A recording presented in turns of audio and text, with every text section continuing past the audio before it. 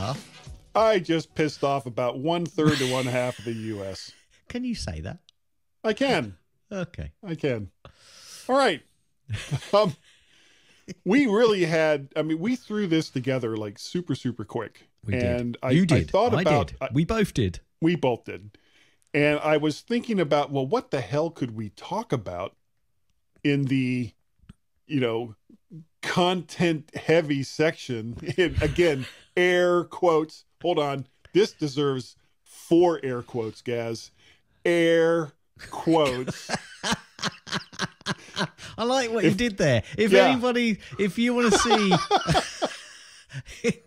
Guy's not just done a single air quote, he's done a quadruple. Quadruple. Or what's a sextuple? I don't know what 16 is now. Anyway, uh, you did this 16 I did- and times you know air what? quotes. if I could lift my feet high enough, I would take my shoes and socks off and do them as well. Lovely. Not- Okay, the tech heavy Yeah. heavy, Heavy. part of the show this week. And because uh, I've been on a couple of trips recently and I'm going on another trip, obviously, uh, in a couple of weeks, I wanted to talk very briefly uh, about the stuff that I travel with. So, uh, actually, I would like to get you know, what when you travel out of town, you and I mean away from the house for more than a day. Yeah. What do what do you take with you? Um, so uh, lots of charges. Yeah. um, uh, obviously, I take my watch because that goes with me everywhere. And if I'm going for more than a day, I take the charger for that. I'll take my iPhone. I'll take an iPad. That is pretty much it. Do you have a laptop at this point? No, no, Okay. no. My my laptop is my iPad. And you know what? And I we have said this before over the the course of of years and years that the iPad has been out. But ooh, excuse me. We are really really not that far away. Uh both in power and I'd love to, usability. I'd love to be I'd love to be able to find it, guy. I'd love to be able to find it, but I said when the the iPad first came out, I said meet your new MacBook. Yeah. I meet your Yeah. new low end MacBook. I wish I could find. Well, on can't a- be, on a I similar- I can't be bothered. similar I can't be note- bothered No. to go through and listen to it all to No. find Um, it. if if one of our if one of our listeners would do that, we really appreciate it. And I'll give you a Woody. I'll give you a Woody for that because that's above, so above and beyond the Call of Duty. Um, but between power and portability, the fact that you can have a, a decent sized keyboard and that a, a, a mouse or trackpad or some kind of pointing device is now pretty useful. Uh, and the user interface lends itself, it's still not perfect, but it lends No, itself no. better to multitasking. Yes. And that has been, to me, that's been the problem with the iPad all along. It's almost impossible to multitask in the past.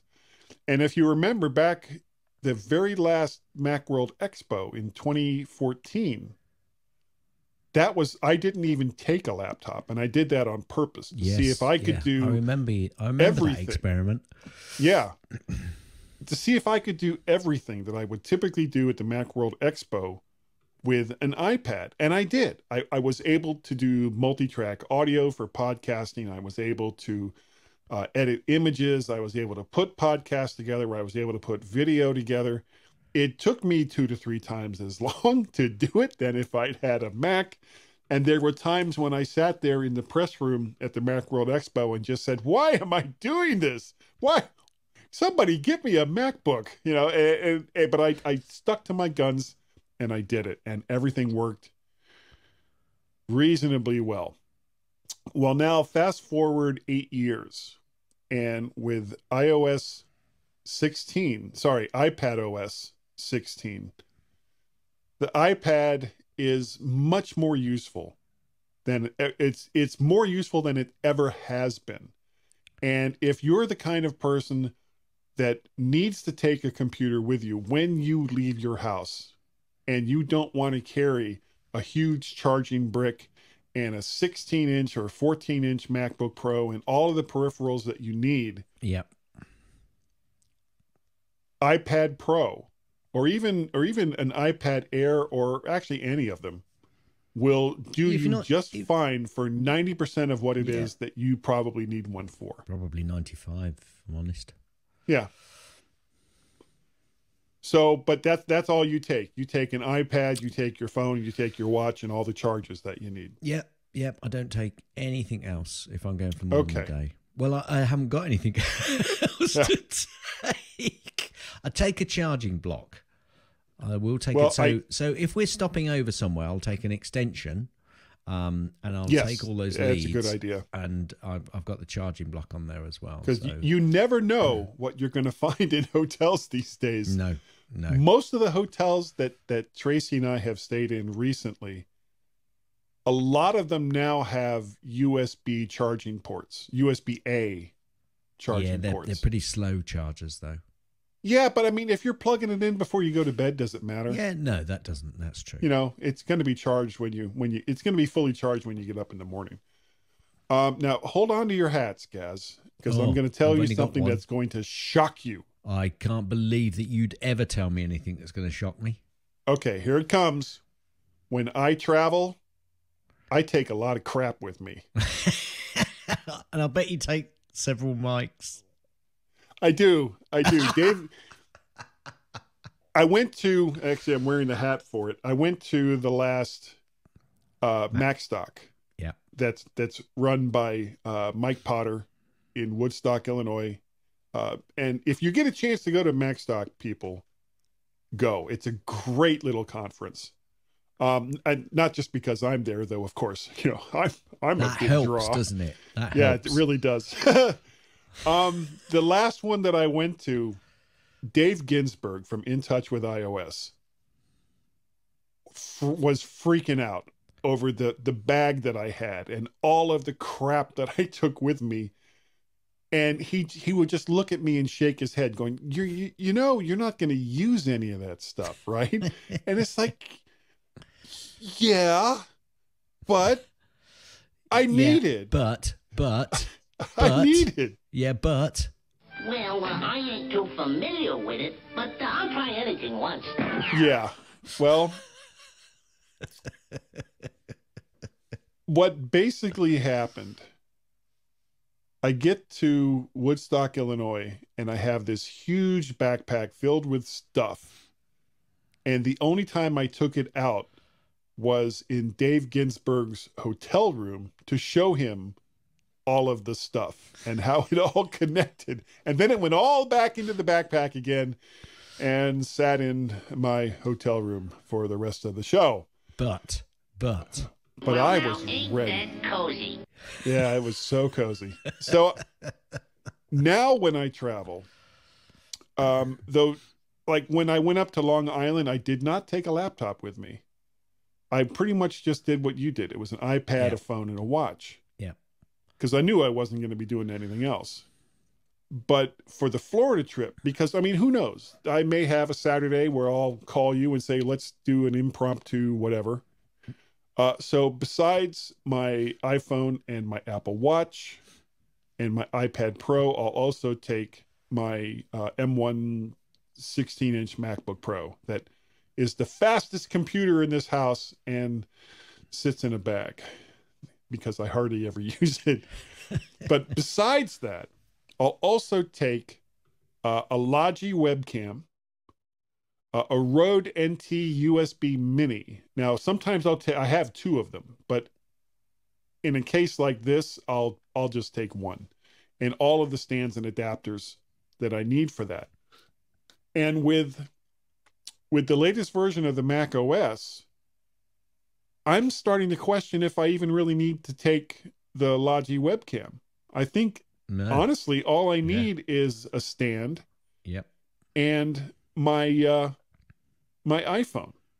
Uh, just before we started to record today, I had both because right now I'm using my well, it's my Sony that I Sony mirrorless camera that I use as, as my webcam. But I also had up, and we, we did this experiment last week. I also We had did. up my my iPhone 13 set up through continuity, and they both look great. We did, and, And- we, we and- tested it again today and had great Yeah. clarity on the fact of what I could see in the back corner of your. And with room. some of the stuff that you can do through uh, continuity settings, which is a a thing that you that you do up in your menu bar, you can have a nice looking like for people who watch this, you'll see that I've got this beautiful bokeh like blurred effect behind me. Well, Apple with continuity has that set up so that you can have a bokeh effect. Does it look as good as this? Eh, maybe not, but it it still looks great.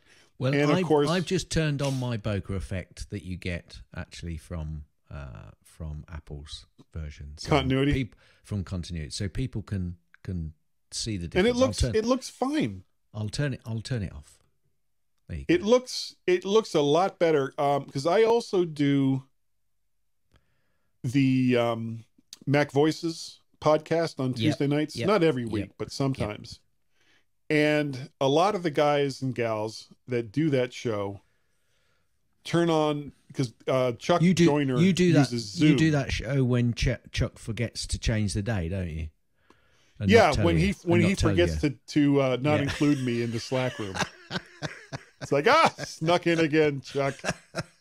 but a lot of the people that that do that show use the built-in blur effect in Zoom and some of the backgrounds that you can use in Zoom. And quite honestly, it doesn't look that good. You you've got a lot of artifacts yeah. around the yeah, face. Yeah, yeah. you know, I don't and- like. I don't like the Zoom one.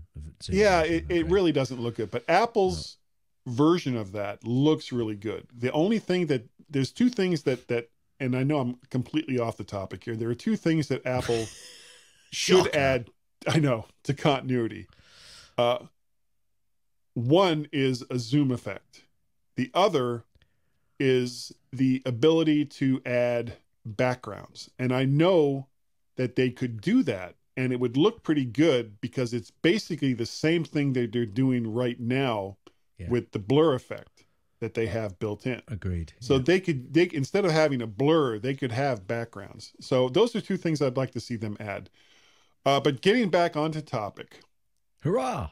Yeah, besides the phone, the watch, the iPad Pro, and the MacBook Pro, uh, I also will take a Bluetooth mouse and, uh, of course, the Logi webcam that I probably won't take with me to Florida now that I'm thinking about it, the Rode NT USB mini microphone, and all of the stands and adapters that I need.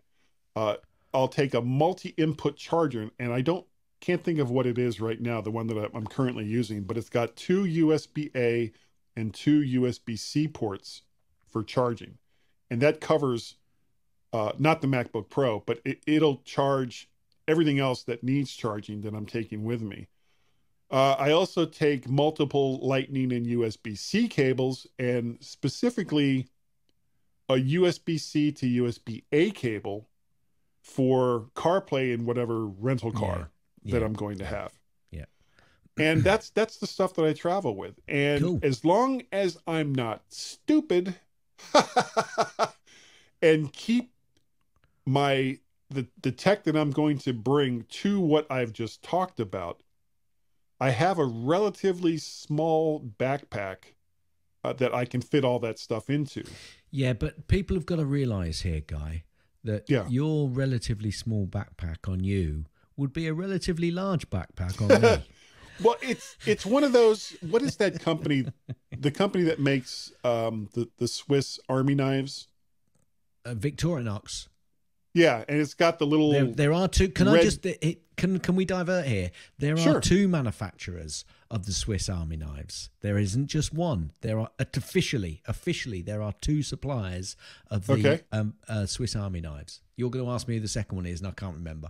But It doesn't matter, but it's It- it's the one that has the the red square with yeah, the white cross in the I middle. think of that's it. the Victorinox. I think it's I think that's the name. People are now screaming and laughing at me because I pronounced it wrong. But there you know. No, they they scream and laugh at you because you do this podcast with me That's true. and have for 12, 13 years. But that's the company that makes the. Uh, I don't have it handy. The the Well, backpack yeah, yeah. I'm sure they that I use. many other things And as well. for backpacks, for most people, I guess that would be a pretty big backpack. But I have got a monster backpack that carries not just the iPad and my laptop and a second 15 inch screen that I connect to the laptop. Uh, it also carries two small tech bags that I have packed with microphones and uh, stands and, and all kinds of stuff. And it weighs probably 60, 70 pounds by the time everything is crammed into this thing. And that's what I, I take with me. And the, the funny part is watching me go through airport security with one of yes. those things Yes. because as soon as it goes it, it happens gaz every single time it goes through x-ray and you can see the bored look on the guy or gal's face that is looking because i mean they're there for you know six to eight hours a day with a, a couple of breaks because they'd go insane otherwise and then my bag goes through and the expression on their face totally changes it's like huh? and then you'll see the conveyor belt go backwards with my back. it's like And then it'll go forward a bit. And then It'll it'll, go go, forward backward and a bit. backward then a little it'll bit. and then they raise their hand. And, Excuse me, I need an official to come and have a look at this. Yeah. yeah, yeah, yeah, yeah.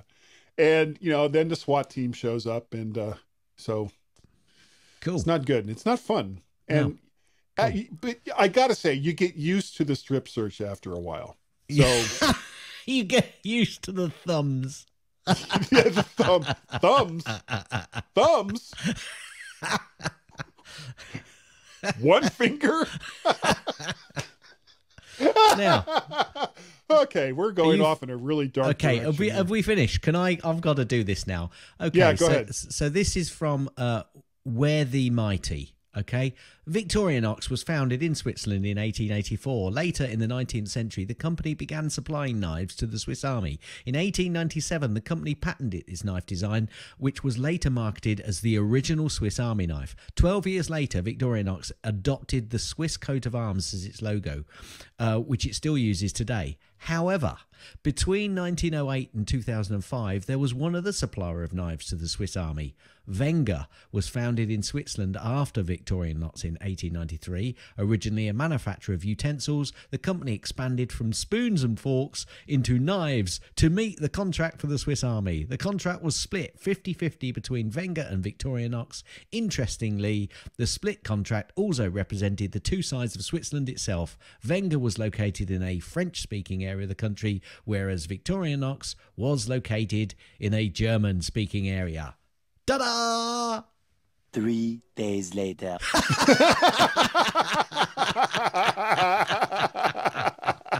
I love doing this show. I, love I doing really, it really too. do. I love doing It I- so cracks I- me up. I love doing this show.